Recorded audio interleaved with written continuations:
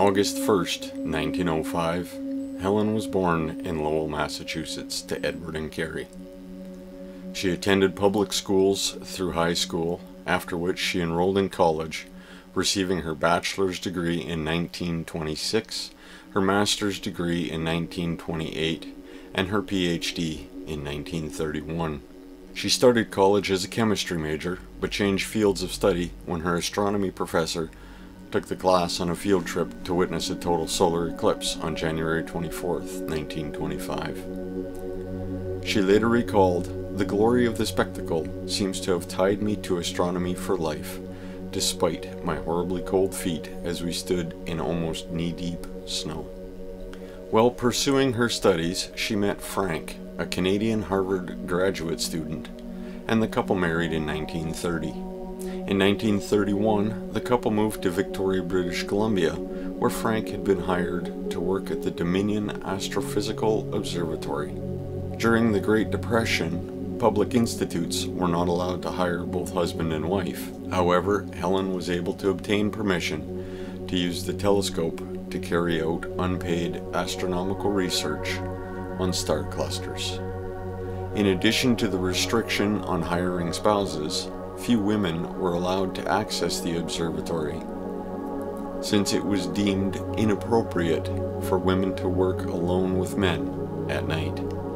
Ironically, the same factor that prevented Helen from being hired, her husband's employment at the observatory, allowed her to use the facility for research.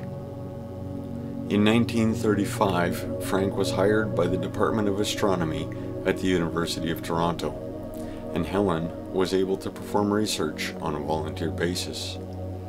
The two scholars carried out most of their studies at the David Dunlap Observatory in Richmond Hill, just north of Toronto, with Frank serving as the observatory director from 1946 until his death in 1951.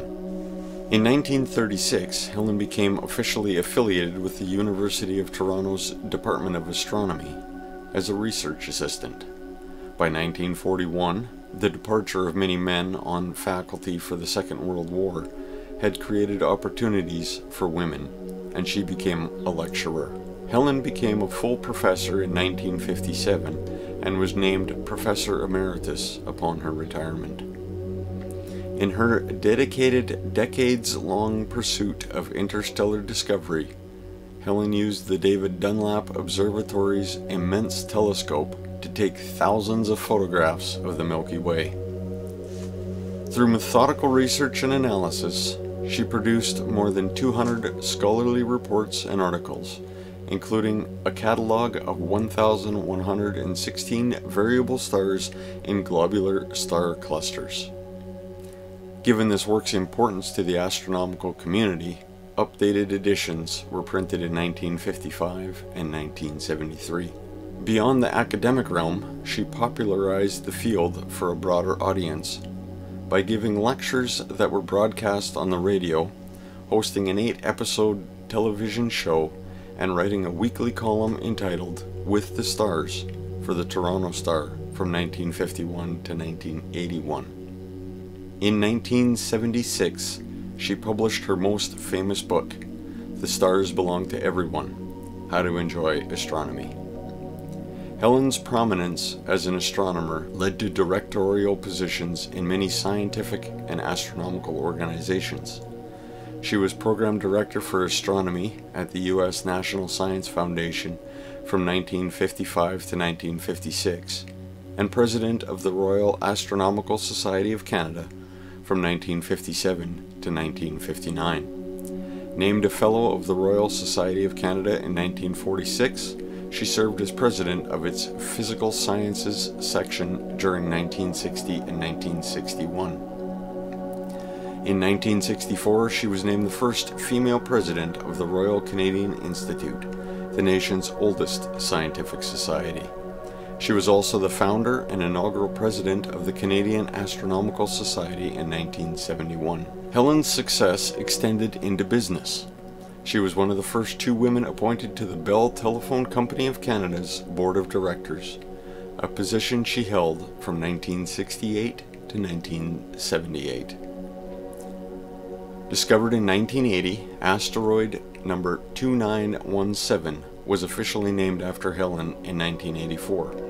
The National Museum of Science and Technology named its observatory in her honor in 1989, and the University of Toronto's Southern Observatory in Chile named its telescope after her in 1992. When this observatory closed in 1997, the telescope was moved to Argentina, but the name was retained. Helen Sawyer Hogg has been recognized publicly with numerous awards and accolades. She won the Annie J. Cannon Prize from the American Astronomical Society and was the first Canadian and second woman to win the Rittenhouse Silver Medal.